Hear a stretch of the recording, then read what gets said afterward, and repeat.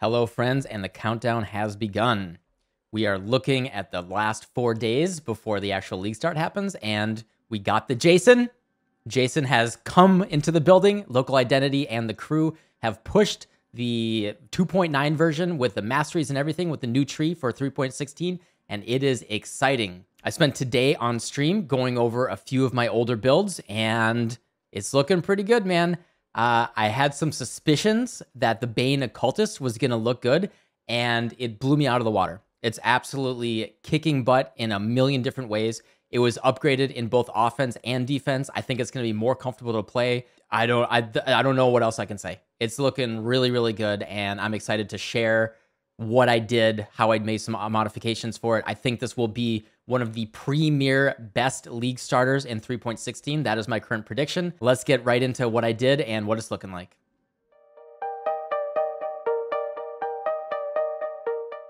All right, so this is the new tree. It might look a little funky, but uh, this is what it looks like right now. The glowing areas are the new things called masteries. And we got to path things around and try to make some tough decisions there. What I did is I chose a level 92 tree. I feel like that is a fair level to get to at about one week into the league. I have some of my existing gear on, but I also put on some very, very cheap league starters. So I left on some of my really good gear and then I replaced some of the other stuff with just some league starter, like very dirt cheap uniques as like placeholders. And I think that's fair because we're actually going to get higher tiers of some dot multi in some places. And it's okay. And At the very least, this gives you some aspirational things to look for as we move forward. So the most important thing, if you have played this build in the past, is to get a Cane of Unraveling. It may be very, very desired if enough people want to play this build. With that said, what I would consider is take just a regular staff, throw aberrant fossils at it, um, throw it into Reforged Chaos, just any old staff, Reforged Chaos in your harvest. You can get plus two level of all Chaos skill gems. You can hit that with some Chaos dot multi and you can make almost as good of a cane unraveling with just a regular staff. You don't even need this thing. Don't worry about it. It's super easy. Don't tell anyone. Shh. I put on a Crown of the Inward Eye. Um, as you can see, it doesn't do that much for us. It gives us 186,000 combined DPS. It's not even contributing that much. So it's just a little placeholder. It's whatever. Obviously, this will cost an Exalt or two early league. Just pretend like it's a regular rare, rare helmet that maybe has a little bit of damage on it. So this is just nothing. I threw on a Tabula Rasa. Obviously, we can have a rare body armor there. Um, I'm wearing my very, very good gloves here still. You can craft these, you know, a baby version very easily like before with Essence of Delirium. Uh, some Sin Treks, because we are now doing hybrid evasion and energy shield, which we'll get to in a second. Uh, are actually like really, really good option for early league. These are basically best in slot until you can craft something pretty crazy good. I'm still have my plus one, plus one, like crazy good amulet. You know, as I said, I'm leaving on some of my good gear. Obviously, you can start off with something baby, you know, get a hunter amulet as early as possible, throw into Reforged Chaos, Aberrant Fossils as before. Try to get Chaos Skill Gems and Chaos Dot Multi. You want to get Iolite Rings ASAP, but you can use whatever rings early on, Vermilions, um, even just like whatever two tones, uh, just to get started. And then throw Essences of Envy at it to get that increased Chaos damage. Good to go on both of those try to get a leather belt, then a Stygian vise, fill it up with life and res. The one change we made to flasks from before, and also the previous builds, I'm gonna link them above. I'm gonna put them all in a playlist. Uh, this will be in the playlist with those other builds. So just check that out. They're all there if you wanna get like the full context for everything that's going on here. The only change that I made to the flasks is I changed the granite flask to a jade flask because we want to value evasion more. And then I changed the quartz flask to a Rumi's concoction because we are also building it to block. And then the cluster jewels, as before, are exactly the same. We just take regular chaos cluster jewels and we fill, we just throw them into Reforged Chaos, aberrant fossils, etc. We try to get three passives. We kind of don't even care what they are. We take whatever we can get. Uh, and then uh, we fill them up with Chaos Dot Multi, Increase Life, Increase Energy Shield. This will actually get better. I think it goes up to eight in the next league. So that's just a buff to our, our damage across the board. So that's kind of also why I'm not worrying about the fact that I have some of my good gear still on here. Also, you might notice that I pulled out my medium clusters here. That's because that's all changing. The curse clusters are now changing and the chaos dot multi clusters, they're all switching around. So we're actually going to be looking for small cluster jewels to get damage on there. So we're not really worrying about that. We don't have access in POB.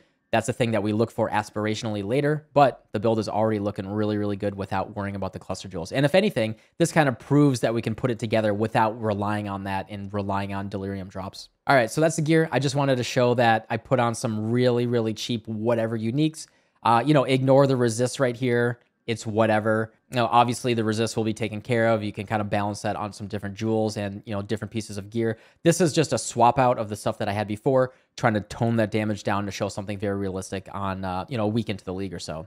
And then the only changes that we made in terms of the gems is because of the changes in the Pantheons and in the reservation efficiency, we drop Clarity and Arctic Armor. We put in Vitality. We can put in a very high level of Vitality and a Discipline and then we still have a comfortable amount of mana left over for casting our spells. It's actually really, really nice. And now we get a big chunk of life regen to really boost up that survivability throughout damage through time or anything like that, as well as getting a nice chunk of energy shield. So that is getting over with the items and the gem changes. Those are very, very minor. Uh, if you look at the previous videos, we're going to go for the same exact itemization. Basically, now I guess the one thing I should say is I did change the base type of a couple things. Um, for the body armor that I'm going for, I changed it to a Sadist garb. And then for the boots that we're going for, I actually changed them to fugitive boots because we are now a hybrid evasion energy shield. And so we're changing those to, because we have our ghost shrouds, we actually want to push up our evasion rating a little bit. So those are like tiny little changes as well. We do that because of a line in Ghost Shrouds that we'll get to in a second. So on the tree, what's different? Well, big, big change here, right? We lost phase acro and we don't take acro anymore as well because we're going to be going into other things. That gives us one, two, three, four, five, six more passive points to play around with, which is actually really nice. And since we're using a staff, I thought, let's just go into block, man. We got block near the witch really, really close. And we can get a decent amount of block by just taking these nodes right here and then equipping a Rumi's. We end up with 39 and 22% block. And that's very, very comfortable. That's actually pretty close to what you are going to end up. It's a little bit less, but where it's actually pretty close to what we end up with from having phase acro before. And it's a little bit more comfortable. We end up with some really nice advantages here, like being able to take mana mastery, which this is what lets us remove clarity. We actually, it just, it gives us just enough mana to not worry about that anymore. So we take Enigmatic Defense and we take Mystic Bulwark. Then we also take the, this is kind of a cool thing, is we can take the 10% increased maximum life here, get the life mastery here. You might notice I still have over 4k life and you can see that I actually have 4,172 life and 2,600 energy shield with just a Tabula and Sin Treks on, right? Pretty cool. Uh, that's a nice chunk of effective hit points. And since we are building into ES just a little bit, the ES does count as like a really nice defensive layer. The mastery that we took down here is Vitality has 100% increased mana reservation efficiency. That's what allows us to run a very high level Vitality very, very comfortably. It basically reserves, it reserves very, very little mana. Yeah, only 100 mana reservation by using a level 20 vitality, normally 233. Pretty cool. Uh, up here looks basically the same. It's a little weird, you know, with the atrophy got kind of changed around a little bit. What we take is actually 20% increased effective withered due to the way that our build works. This is the mastery that we can take here.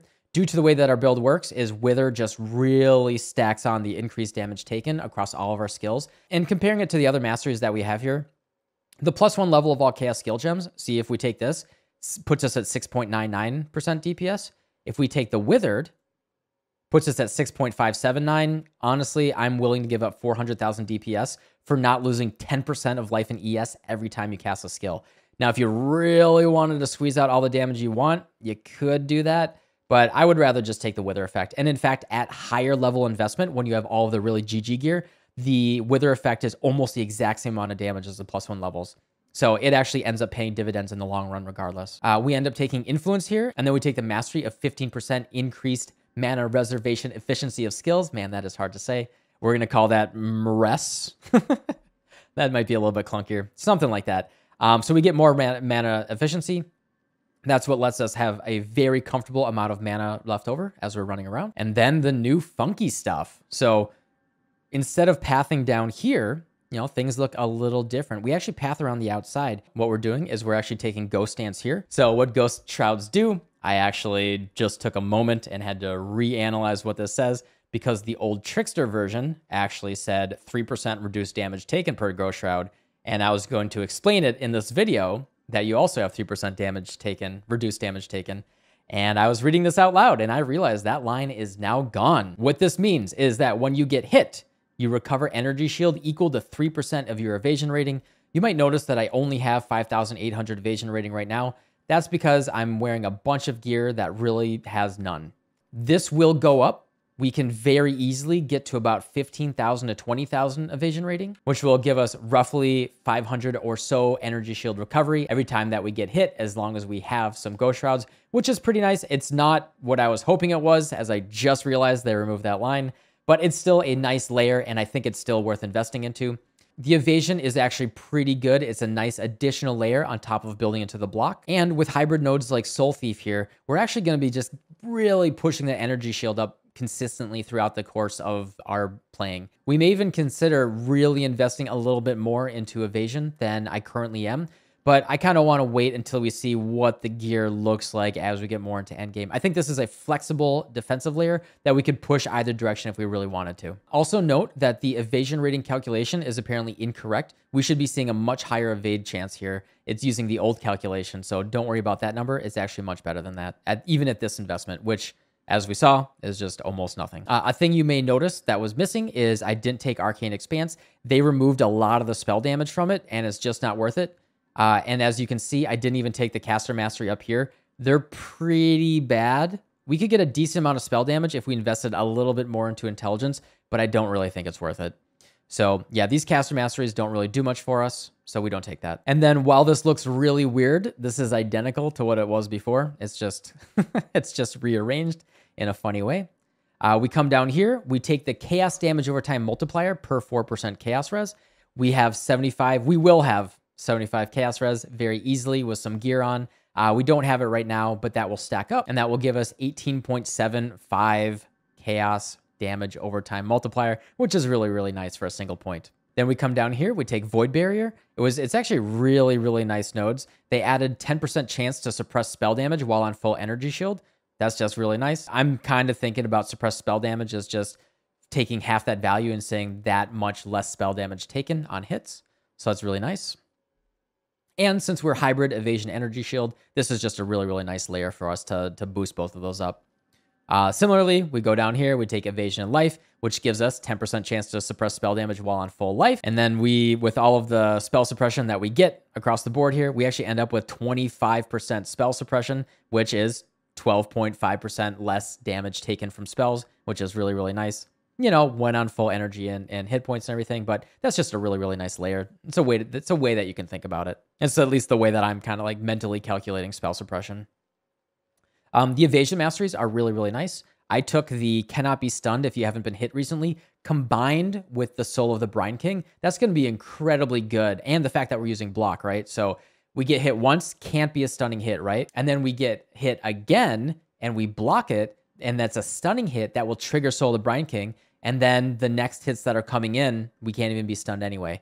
It's going to be really, really nice to combo with uh, investing into the block more. So I really like that node. There are other evasion masteries that are really good too, uh, where we can push our evasion rating up really, really nicely.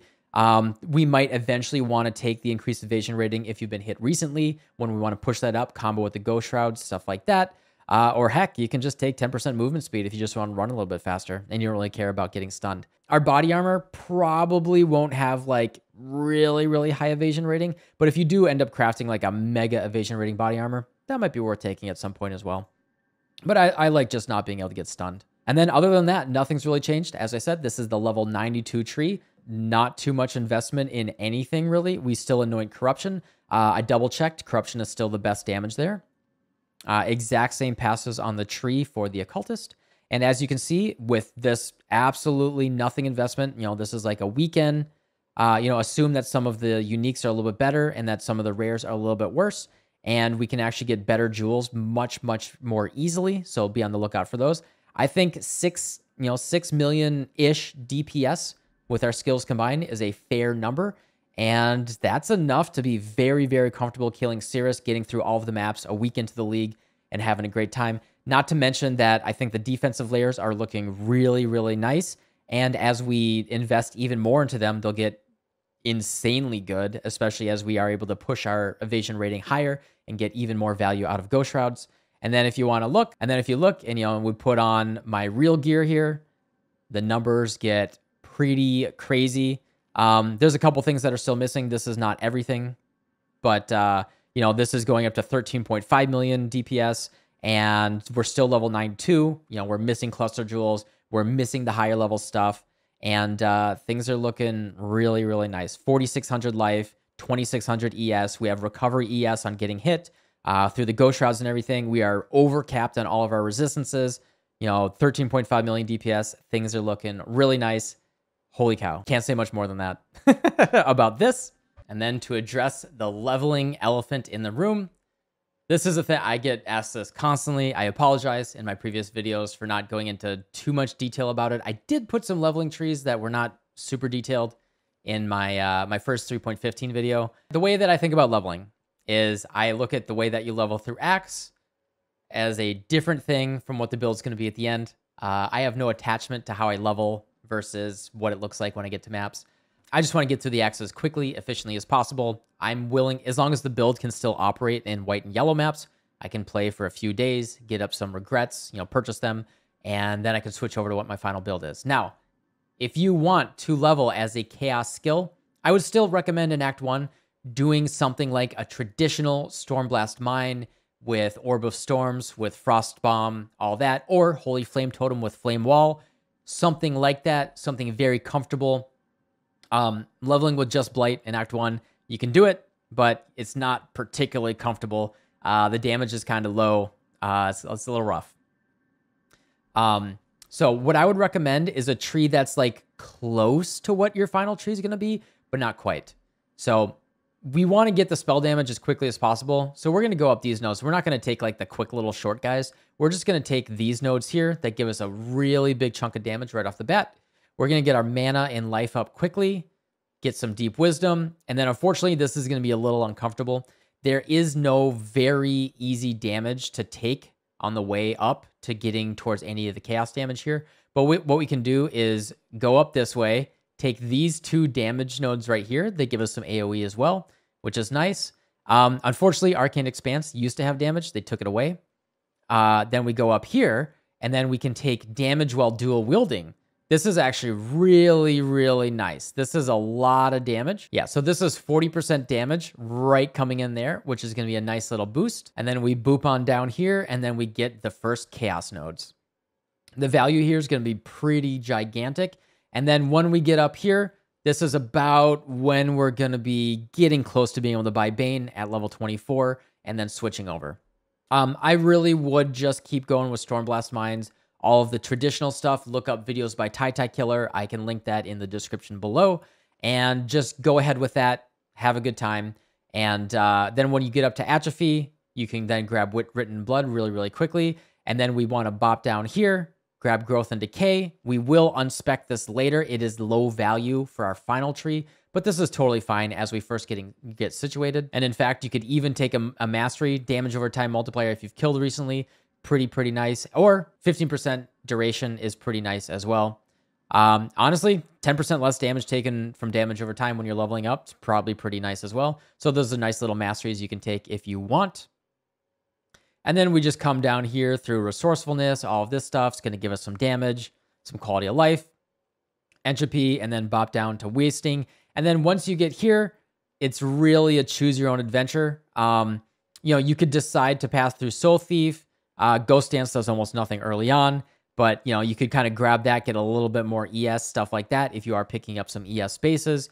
Uh, or you can just go down, grab Revenge of the Hunted. This will give you a lot of life, a lot of defense, and then you can just start working towards the real tree that we're gonna have finally. And then once you have these pieces, you're basically gonna be close-ish to maps. Uh, keep on leveling, put the points towards what the final tree is gonna look like. And once you start putting the pieces together, start using regret orbs, you know, you can just grab these guys here, get closer to the real tree, you know, unspec all of these guys, undo all of this, right? And then start bringing it closer to the real tree. But initially, you know, we need to get those damage numbers up as quickly as possible. We have to take these nodes no matter what. Otherwise, leveling is going to be the worst thing ever. And then this is really, I mean, this is basically straight line, right? Like it's hard to, it's pretty, I think it's pretty obvious the direction that you're going to go. You're just going to go towards the damage, get the damage as quickly as you can. Honestly, doesn't matter if you take atrophy or growth and decay first. I would take atrophy. It's going to be higher value, I think. And then just go through basically copying what the tree's going to be switch to Bane at like level 24, and then you can just keep on doing that forever. Uh, there are a lot of people that are doing Chaos Slingers. They're setting that type of stuff up. Uh, that's not what I'm going to be looking to do. So I'll probably just be doing something like this. That is as the leveling tree that will be in the POB that is linked in the description below. Oh, an additional alternative if you want to get even tankier in a couple other ways. Uh, I just saw this a few minutes ago as I was playing around. There's so many new things. Uh, I'm definitely going to be also full caveat, right? I spent like an hour going through this, trying to pick around with things. I'm going to be missing so many things. Do not take this as like the final, final. This is just what things look like, like already inefficiently. It's looking really, really good. So I believe in it, but uh, we're just going to be seeing more and more things. So, you know, this is not the final. Know that there's, if you see something that's a better improvement, you probably see something that's better. Um, but a thing that I just came down here, we have a crazy amount of spell suppression right here. This actually gives us 30% spell suppression as well as preventing some damage from suppressed spell damage as well. So it brings that even more efficiently across the board. I think this is a really, really good use of 5% damage. And then holy cow, look at this. There's some really, really nice masteries here that we can take if you want to put another point into it. Another 10% chance to suppress spell damage. If your boots, helmet, and gloves have evasion, well, they will. right? They will, and that's going to actually go up to 65% spell suppression. So that's uh ooh, that's pretty. Um so that's going to be crazy crazy good value. Uh yeah, so the, this is this is looking pretty nice, guys. Strongly consider this as you level up, you know, into the mid 90s, grabbing these points if you're taking spell damage. That's pretty awesome, man. Defensively, this build is looking absolutely out of control. All right, so I don't need to talk you guys' ears off for hours and hours. I think I got the gist across of everything that's looking like right now. It's looking incredible. Um, I absolutely no clickbait. I firmly believe this is probably the best league start build I've ever put together. It's looking absolutely crazy, buffed both offensively and defensively. Well, the offense is at the at the least exactly the same, if not better.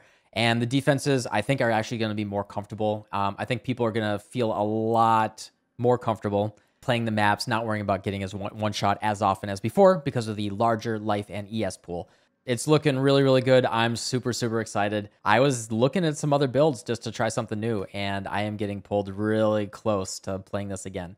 Uh, so I think if you give it a shot, it's really going to be dirt cheap to get off the off the ground, and you're going to absolutely love this build and dominate. And you know, at least like the first few weeks of uh, Scourge League, and you're going to have no problems. So that is my seal of you know, guarantee, you know, best guess, right? Uh, only an hour in POB, so, but it's looking incredible. I'm really, really optimistic about it. So anyway, thank you everyone for watching this video and hanging out and being interested in this build.